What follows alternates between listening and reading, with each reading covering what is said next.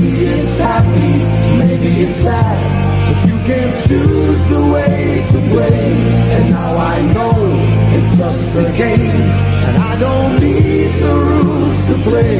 Maybe it's happy, maybe it's sad.